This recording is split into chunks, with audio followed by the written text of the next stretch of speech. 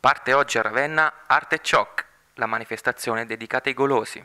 Nei gazebo allestiti in Piazza del Popolo, infatti, fino al 14 novembre i maestri cioccolatieri proporranno assaggi e vendite di delizie e specialità al cioccolato, di ogni genere.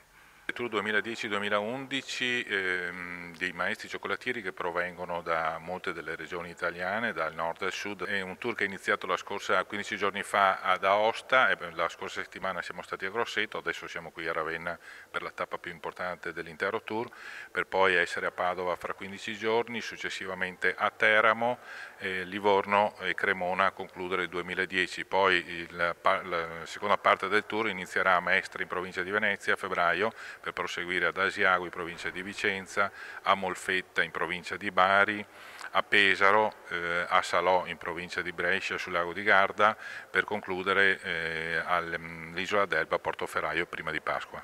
È sempre stata un'arte per noi artigiani. Eh, anche perché eh, ci differenziamo proprio dall'industria in questo senso.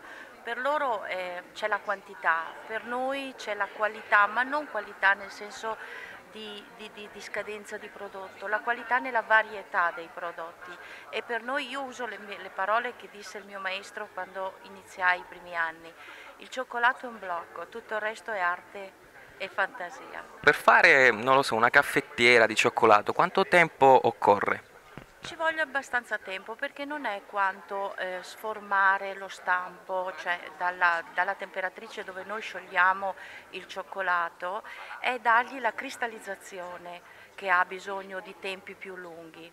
Per cui abbiamo bisogno di tanto tempo. In effetti tutta la lavorazione del, cioè della, della, nostra produzione ha bisogno di molti, molto tempo, ci chiede molto, molte ore di lavoro, molto sacrificio e dobbiamo solo amarlo per poterlo fare.